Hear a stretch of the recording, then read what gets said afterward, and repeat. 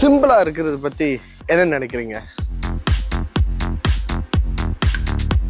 Well அதே சிம்பிளா ஒரு ஸ்டைலிஷா லக்ஸுரியா ஒரு பர்ஃபார்மன்ஸா பார்த்தீங்கன்னா well you have the simple one electric scooter so இப்போ இந்த வண்டியில் சில அப்டேட் பண்ணியிருக்காங்க ரெண்டு வருஷத்துக்கு முன்னாடி இந்த வண்டி வந்திருந்து பட் இப்போ டுவெண்ட்டி டுவெண்ட்டி ஃபைவ்ல சில அப்டேட்டோட இந்த வண்டி இப்போ லான்ச் பண்ணியிருக்காங்க so welcome to rise pack Tamil நான் தான் உங்கள் பல்வின். நம்ம சேனலில் இன்னும் சப்ஸ்கிரைப் பண்ணலான்னா ஃபாலோ பண்ணிக்கிட்டு சப்ஸ்கிரைப் பண்ணிவிட்டு வாங்க வீடியோக்குள்ளே போகலாம்.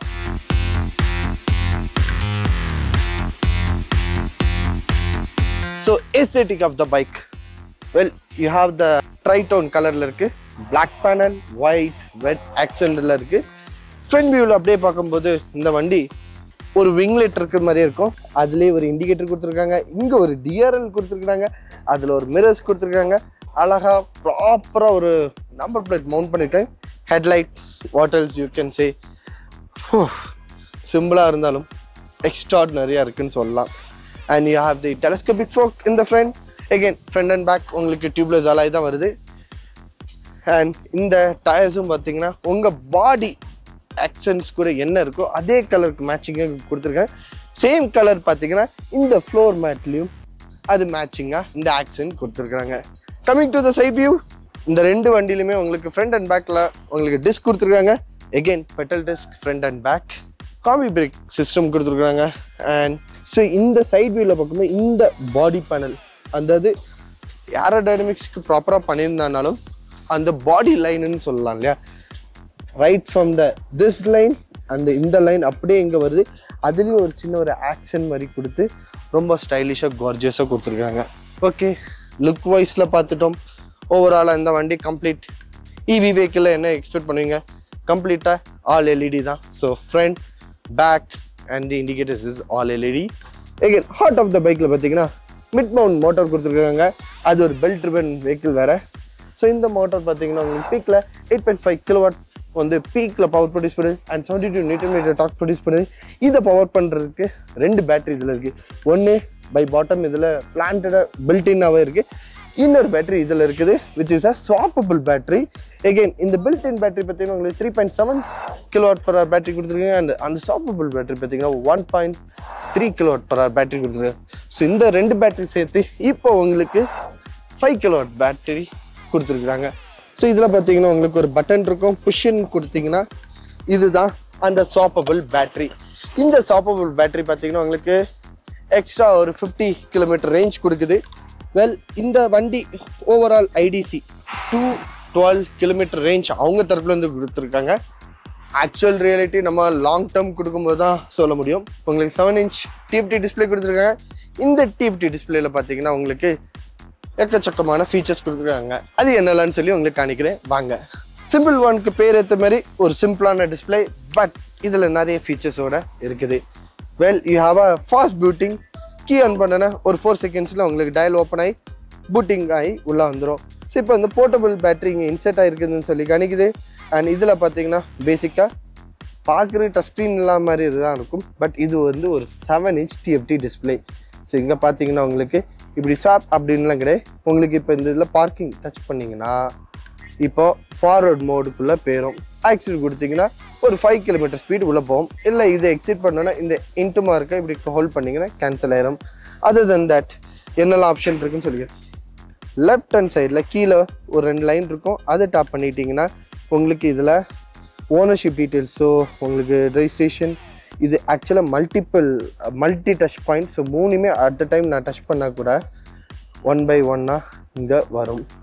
ஸோ பார்த்தீங்கனாலே தெரியும். Other than that user vehicle என்ன ரெஜிஸ்ட்ரேஷன் பின் நம்பர் என்னன்னு சொல்லி கிடைக்கும் அண்ட் வெஹிக்கிள் டீட்டெயில் இந்த மை வெஹிக்கிள்குள்ளே வந்தீங்கன்னா முக்கியமான விஷயம் நீங்கள் பார்க்குறது இந்த வண்டியில் டிபிஎம்எஸ் சென்சர் கொடுத்துருக்காங்க. ஃப்ரண்ட் அண்ட் பேக் உங்களுக்கு டிபிஎம்எஸில் இருக்குது ஸோ இப்போ பிளாக் கலரில் இருக்குது அப்படின்னு பார்த்தீங்கன்னாலே தெரிஞ்சிருக்கும். தட் மீன்ஸ் இப்போ வந்து ஏர் இருக்குது. ஸோ அந்த ஒரிஜினல் ஏர் இந்த இதில் கிடையாது அதர் தட் பார்த்தீங்கன்னா கீழே மெயின் பேட்ரி தேர்ட்டி த்ரீ பர்சன்டும் போர்ட்டபிள் பார்த்தீங்கன்னா எயிட்டி ஃபைவ் பர்சன்டேஜும் இருக்குது. ஸோ இந்த மெயின் பேட்டரியில் பார்த்தீங்கன்னா உங்களுக்கு ஒரு தேர்ட்டி நைன் கிலோ மீட்டர் போகுது. ஹெல்த்தியாக இருக்குதுன்னு சொல்லி அவங்களே அது எஸ்டிமேட் கணிக்குது அண்ட் போர்ட்டபிள் பேட்டரி பார்த்தீங்கன்னா ஒரு ஃபார்ட்டி டூ கிலோமீட்டர் வரைக்கும் போது ஹெல்த்தியாக இருக்குன்னு சொல்லி காணிக்கும் ஸோ இந்த பேட்டரி வீக்காக இருந்தாலும் கூட இங்கே வந்து வீக் அப்படின்னு சொல்லி காணிக்கும். அண்ட் இந்த ரெண்டு பேட்டரி கம்பைன் பண்ணி ஓவராலாக எத்தனை கிலோமீட்டர் போகுதுன்னு இதில் காணிக்குது. அதர் தன் தட் இந்த வண்டி எத்தனை கிலோமீட்டர் போயிருக்குன்னு சொல்லி இதில் டிஸ்டன்ஸ் கொடுத்துருக்குறாங்க. அதில் அது மட்டும் இல்லாமல் ஏதாவது பர்ஃபார்மன்ஸ் இஷ்யூ வண்டியில் ஏதாவது சர்வீஸ் கம்ப்ளைண்ட் டியூ அந்த இது இருக்கும்போது டியூ இதில் மென்ஷன் ஆகும். அண்ட் பர்ஃபார்மன்ஸில் எதாவது இஷ்யூ இருந்தாலும் இதில் மென்ஷன் ஆகும். இப்போதைக்கு எதுவும் இல்லை. அதனால நல்லா இருக்குது. அடுத்தது கஸ்டமைஸ் இந்த கஸ்டமைஸ் எப்படின்னு பார்த்தீங்கன்னா ஸோ மொத்த டிஸ்பிளே பிரைட்டாக இருந்திருக்கலாம். பிரைட் இறக்கவும் செய்யலாம். இல்லை நீங்கள் ஒரு ஆட்டோ டிஸ்பிளேலையும் கொடுத்துருக்கலாம். அக்கார்டிங் டு த லைட் அந்த பிரைட் அப் அண்ட் டவுன் ஆயிரும். ஸோ இதில் வந்து ஒரு இந்த ஓவரால் பேனலை வந்து ஒரு நாலு டிஃபால்ட் கலரில் கொடுத்துருக்காங்க. White and green white and blue white and beige and white and red அது வெல்கம்னு சொல்லுங்கள் நான் அந்த ஒயிட் அண்ட் ரெட் கொடுத்தது ரொம்ப நல்லா இருக்கு. ஏன்னா இந்த வ- வண்டி எக்ஸெண்டுக்கே அது மேட்சிங் ஆகுது. அடுத்து பார்த்தீங்கன்னா கனெக்டிவிட்டி ஸோ இப்போ இந்த வண்டியில் ப்ளூடூத் கனெக்டிவிட்டி கொடுத்துருக்குறாங்க. இந்த ப்ளூடூத் மூலமாக இப்போ என்னோட மொபைல் இதில் கனெக்டாக இருக்குது ஸோ இப்போ பார்த்தீங்கன்னா சிம்பிளில் இருந்து உங்களுக்கு ரெண்டு ஆப் ரெண்டு ஓஎஸ்க்கு கொடுத்துருக்காங்க. ஒன்று வந்து ஐஓஎஸ் இன்னொன்று வந்து ஆண்ட்ராய்ட் ஸோ இப்போ பார்த்தீங்கன்னா ஓப்பன் பண்ணோன்னே இப்படி ஒரு சிம்பிள் வரும். ஸோ இங்கே சிஸ்டம் கனெக்டருக்கு இங்கேயும் கனெக்டட்னு வருது. இங்கே இப்போ லோட் ஆகுது ப்ளூடூத் மூலமாக ஸோ இங்கே பார்த்தீங்கன்னா இந்த வண்டியோட இது இங்கே காணிக்குது. ஸோ எவ்வளோ கார்பன் டை ஆக்சைடு நான் வந்து சேவ் பண்ணியிருக்கிறேன் அங்கேருந்து கணிக்கு. என்ன ரைடிங் மோடில் ஓட்டியிருக்கேன்னு சொல்லி கணிக்குது. எவ்வளோ ஓடோமீட்டர் ஓடி இருக்குன்னு காணிக்குது. பேட்டரி பர்சன்டேஜ் ஹெல்த் காணிக்குது. அதையும் உங்களுக்கு இங்கே காணிக்கிறேன். ஸோ இது வந்து இதில் உள்ள ஒரு விஷயம். அதர் தன் தட் பார்த்தீங்கன்னா இந்த கனெக்டிவிட்டியில் நீங்கள் எதாவது மெசேஜ் வருது அப்படின்னா பாப்அப் மெசேஜ் காணிக்கணுமா இல்லையா? இன்கம் மெசேஜ் அது உங்களுக்கு ஷோ பண்ணணுமா இல்லையா? இல்லை நான் ஒரு மியூசிக் ப்ளே பண்ணுறேங்க இங்கே வந்து ப்ளே ஆகுது. எல்லாமே இதிலே இருக்குது சாங் மட்டும் இல்லை கால் வந்தால் கூட இந்த சுவிட்ச் மூலமாக நீங்கள் இது பண்ணிக்கலாம். அது தன் தட் பார்த்தீங்கன்னா இதில் எமர்ஜென்சி இருக்குது. ஒரு ரெண்டு காண்டாக்ட் கொடுத்து உங்களோட எமர்ஜென்சி காண்டாக்ட்ஸ் கொடுத்துக்கலாம். சிஸ்டம் இன்ஃபோ இன்னொரு முக்கியமான விஷயம் என்னன்னு பார்த்தீங்கன்னா சப்போஸ் என் வண்டி யாராவது எடுத்துகிட்டு போயிட்டாங்க. இல்லை நானும் வச்சுட்டு போயிட்டேன். எங்கே இருக்குன்னு எனக்கு தெரில அப்படின்னா ஜஸ்ட் இந்த ஆப்பை ஓப்பன் பண்ணிங்கன்னா இதில் பைக் ஐக்கான் இருக்குல்ல அதை டச் பண்ணிங்கன்னா பைக் எங்கே இருக்குதுன்னு தெரிஞ்சிடும். ஸோ ஃபைண்ட் ஒன் அப்படின்னு கொடுத்தீங்கன்னா ஸ்ட்ரேட்டாக மேப் ஓப்பன் ஆயிரும். ஸோ நான் ஜூம் பண்ணுறேன் நான் இருக்கிற லொக்கேஷன் பக்கத்துலேயே தான் என் வண்டி இருக்குது. டைரெக்ஷன் கொடுக்குறேன். ஸோ பார்த்தீங்கன்னா அப்படியே நான் ஃபாலோ பண்ணி போனோன்னே ஸோ பாருங்கள் மேப் என்ன வருது. பைக் இங்கே இருக்குது. ஸோ இப்படி என்னோடய வண்டியை எங்கே வச்சுருந்தனாலும் இல்லை யாராவது எடுத்துகிட்டு போனாலும் என்னால் கண்டுபிடிக்க முடியும். இந்த அப்டேட் இந்த ஆப் மூலமாக இப்போ கொடுத்துருக்குறாங்க. ஸோ என்னோடய height six feet height average body type eighty plus KG இருக்கிறேன். இப்போ உங்களுக்கு நல்ல ஒரு சீட் கொடுத்துருக்காங்க. இது கம்ஃபர்டபுளாக இருக்கா இல்லைன்னு சொல்லி பார்க்கலாம். ஸோ இப்போ நான் உக்காடுறேன் ரொம்ப கம்ஃபர்டபுளாக என்னோட சீட்டிங் இருக்குது குஷனிங்காகவும் இருக்குது. அண்ட் நான் சிக்ஸ் ஃபீட் ஹைட் எனக்கு லெக்கும் வந்து ரொம்ப பிளான்டடாக இருக்குது. ரொம்ப கம்ஃபர்டபுளாக நானும் இருக்கிறேன். அண்ட் அதர் தென் தட் பார்த்தீங்கன்னா டேர்னிங் ரேடியஸ் ஸோ ரொம்பவே டேர்னிங் ரேடியஸ் கொடுத்துருக்காங்க. ஹைட்டாக இருக்கிறவங்களுக்கு கொஞ்சம் சிரமமாக இருக்கும். பட் டேர்னிங் ரேடியஸ் என்னமோ பயங்கரமாக கொடுத்துருக்காங்க. சைட் ஸ்டாண்ட் பற்றி சொல்லணும். சைட் ஸ்டாண்ட் என்னை பொறுத்த வரைக்கும் கொஞ்சம் ஷார்ட்டராக இருக்கிற மாதிரி இருக்குது கொஞ்சம் லென்த்தாக வச்சுருக்கலாமோங்கிறது என்னோட ஒரு கருத்து. இது எல்லாம் இருக்கட்டும். சரிப்பா இந்த சிம்பிள் ஒன் சிம்பிள் இவ்வளோ நல்லா இருக்குது எல்லாம் சொல்கிறிய இந்த வண்டியில் குறைகள் நிறைகள் இல்லையா அப்படின்னு கேட்டிங்கன்னா எஸ் ஒரு சில குறைகள் நான் பார்த்தேன். பட் ஒரு சில நிறைய விஷயங்களும் இருக்குது. ஃபர்ஸ்ட் என்னோடய ரைடிங் எக்ஸ்பிரஷன் சொல்கிறேன் இந்த வண்டி ஓட்டும்போது ரொம்ப கம்ஃபர்டபுளாக எக்ஸாக்ட்லி ஒரு ஹெட் டர்னர்னே சொல்லலாம். எல்லாருமே அப்படி திரும்பி பார்த்தாங்க. ஏன்னா ஒன்று அந்த சோனிக் மோடுன்னு சொல்லும்போது உண்மையில வந்துட்டு ரோட்டில் போகக்கூடிய ஒரு சோனிக் பீஸ்ட்னே சொல்லலாம். அந்த அளவுக்கு ஜீரோ டு ஹண்ட்ரட் அந்த அவ்வளோ பர்ஃபார்மண்டாக ரொம்ப அக்ரெசிவாக டக் டக்குன்னு போச்சு. ஏன்னா zero to forty just two point seven seven செகண்ட்ஸில் போகக்கூடிய வண்டி இது. டாப் ஸ்பீட் பார்த்தீங்கன்னா நான் ஒரு hundred and two range kilometre போயிருந்தேன் கம்பெனி கிளைம் பண்ணுறது ஹண்ட்ரட் அண்ட் ஃபைவ் பட் இன்க்ளைன்லாம் இருந்ததுனால ஸோ நம்ம அவ்வளோதான் ஸ்பீட் இது பண்ணியிருந்தோம். சீட் கம்ஃபர்ட் பொதுவாகவே நிறைய வண்டியில் பார்த்தீங்கன்னா ரொம்ப கம்ஃபர்டபுளாக இருக்காது. இது பார்க்குறதுக்கு ரொம்ப ஸ்டைலிஷாக இருந்தாலும் சீட் வந்து ஒரு ஃபேமிலி சைஸ் வண்டிக்குள்ளே ஒரு சீட் கொடுத்துருக்காங்கன்னு சொல்லலாம். ஏன்னா ஒரு ரெண்டு பேர் ஒரு கப்புள்ஸ் போகிறதுக்கு பர்ஃபெக்டாக ரொம்ப கம்ஃபர்டபுளான ஒரு சீட் அதில் கொடுத்துருக்குறாங்க. அடுத்தபடியாக பார்த்தீங்கன்னா ஹேண்ட்லிங் எஸ் இந்த டயரும் சரி இந்த ஹேண்ட்லிங்கும் சரி ரொம்பவே பெஸ்ட்டாக இருந்துன்னு சொல்லலாம். ஈஸி டு ஃப்ளிக் ஒரு ஷார்ட் சிட்டிக்குள்ளே இருக்கிறீங்க டக்குன்னு யூட்டர்ன் எடுக்கணும்னா கூட உங்களோட ரேக் ஆங்கிள் ரொம்ப ஜாஸ்தியாக இருக்கிறதுனால உங்களால் ஈஸியாக ஒரு ஷார்ட் யூட்டர்ன் எடுக்க முடியும்.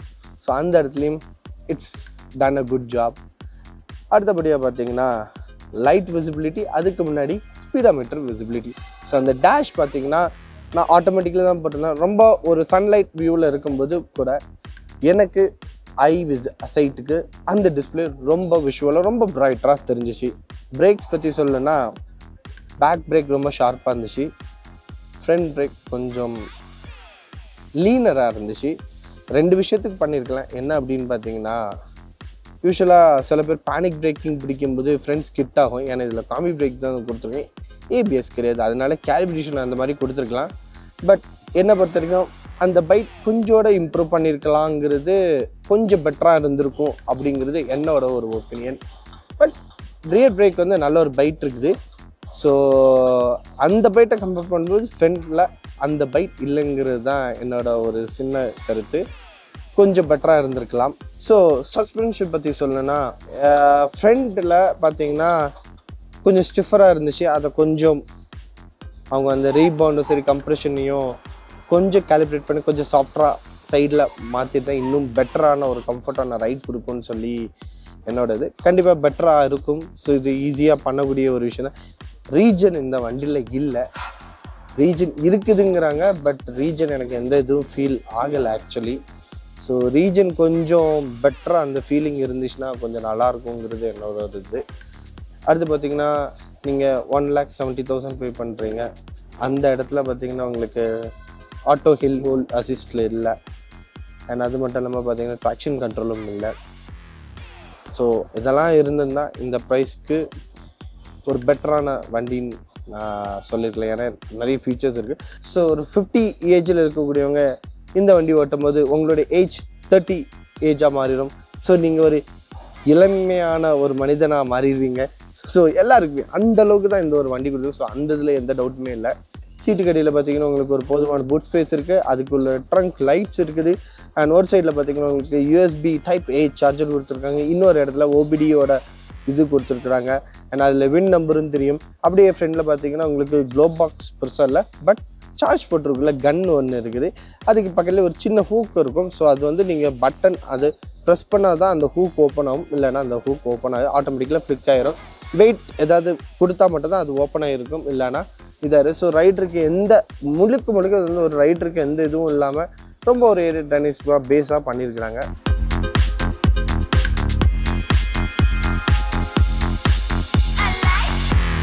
ஸோ இந்த சிம்பிள் ஒன்னை நீங்கள் சூஸ் பண்ணுவீங்களா இல்லைன்னு சொல்லுங்கள் நான் தான் உங்கள் Balwin. State rise pack Tamil and that's your gorgeous luxury and sporty looking simple one